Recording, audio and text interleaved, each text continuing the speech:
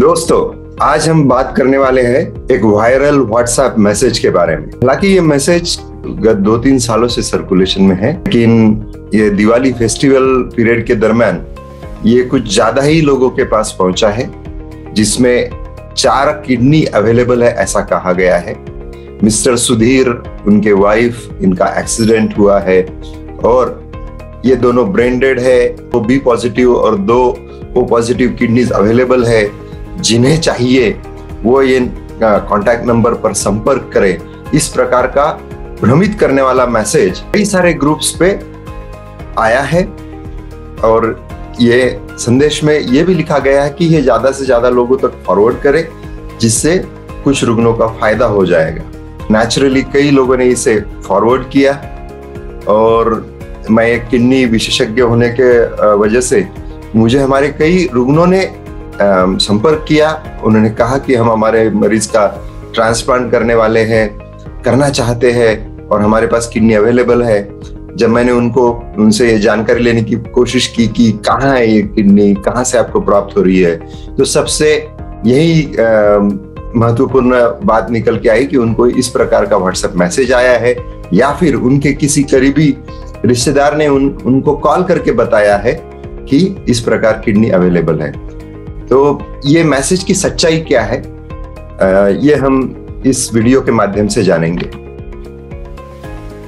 तो महत्वपूर्ण बात यह है कि प्रत्यारोपण करने लायक, और आज मैं किडनी प्रत्यारोपण संबंधित ही बात करूँगा। प्रत्यारोपण करने लायक मानवीय अवयव कभी भी इस प्रकार से प्राप्त नहीं हो सकते। तो ये जो कार्रवाई है प्रत्यारोपण की और जो अवयव प्राप्त किए जाते हैं, वो किस तरीके से हो सकते हैं, इस बारे में महत्वपूर्ण सच्चाई और सात महत्वपूर्ण तथ्य हम आज देखेंगे। तो सबसे पहली सच्चाई, अवयव अमूल्य है, हम सब जानते हैं। कई लोग किडनी बीमारी से ग्रस्त है, उनको अवयव की ज़रूरत है, अवयव का शॉर्टेज है। तो उस वजह से ये सारे ऑर्गन्स अमूल्य है और किडनी भी इसमें शामिल है। इनका डिस्ट्रीब्यूशन आबटन जो होता है, अत्यंत सुनियोजित पद्धति से होता है। तो ये आबटन कैसे होता है? तो दूसरा तथ्य महत्वपूर्ण यह है कि आपको अगर कोई ऑर्गन प्राप्त करना है तो उसके लिए एक निर्धारित प्रतीक्षा सूची है, जिसको वेटिंग लिस्ट बोलते हैं। और उस वेटिंग लिस्ट में आपको अपने आप को पंजीकृत करना यानी रजिस्ट्रेशन करना ज़रूरी है। नोटो ये national organ and tissue transplant organisation है, उसी तरह रोटो ये रीजनल है और सोटो इज़ स्टेट है, यानी state organ tissue transplantation organisation Maharashtra में ये सोटो के अंतर्गत JTCC zonal transplant coordination committee इस प्रकार से एक कमिटी है जिसके चार मुख्य ऑफिसेस है, मुंबई, पुणे, औरंगाबाद और नागपुर। तो जेटीसीसी के माध्यम से ही आपका पंजीकरण हो सकता है। और अगर आप पंजीकृत है रजिस्टर्ड है और प्रतीक्षा सूची में है तो ही आपको अवयव प्राप्त हो सकता है। तीसरा महत्वपूर्ण तथ्य यह है कि ये जो पंजीकरण जो मैं बोल रहा हूँ ये प्रत्यारोपण मान्यता प्राप्त अस्पताल के माध्यम से ही हो सकता है।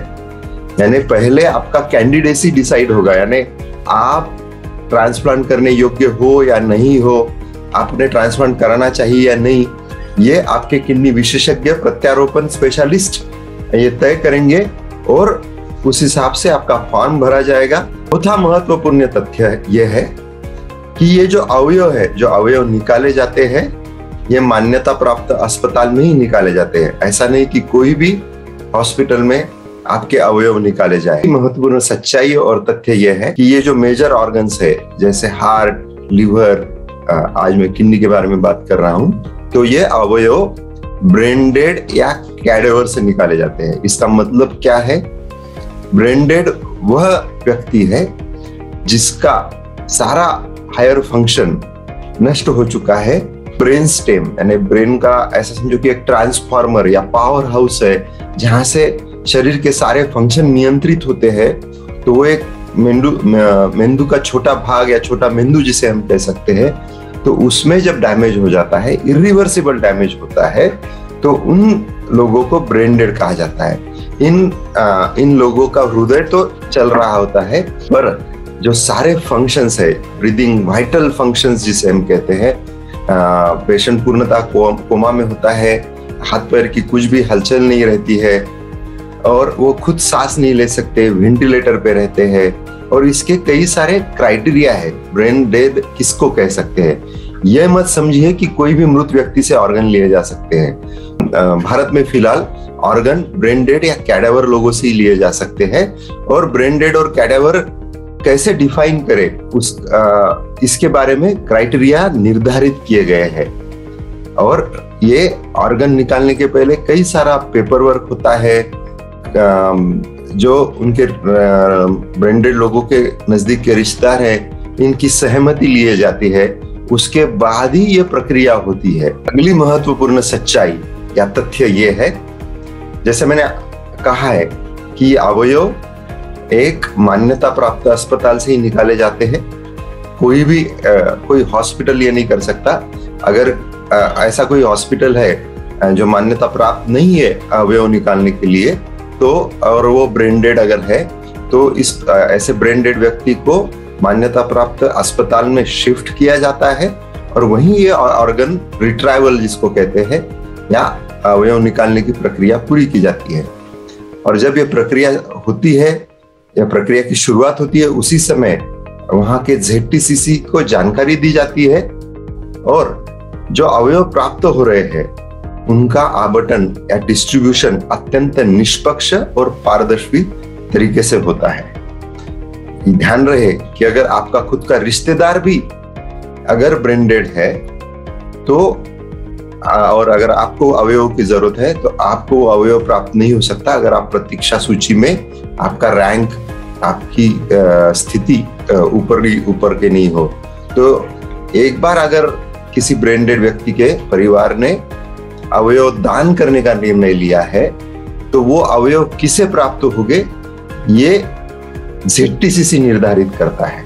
और वो प्रतीक्षा सूची और आपके क्रमवारी के अनुसार है।